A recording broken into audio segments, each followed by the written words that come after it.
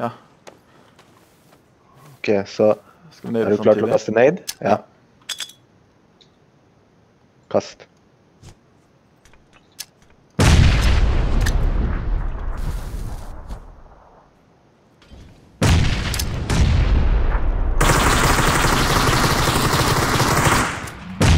Bare skyt på han, skyt på han.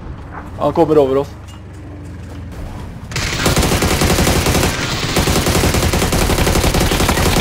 Fikk kill. To er døde. Pass på bilen kan sprenge. En igjen.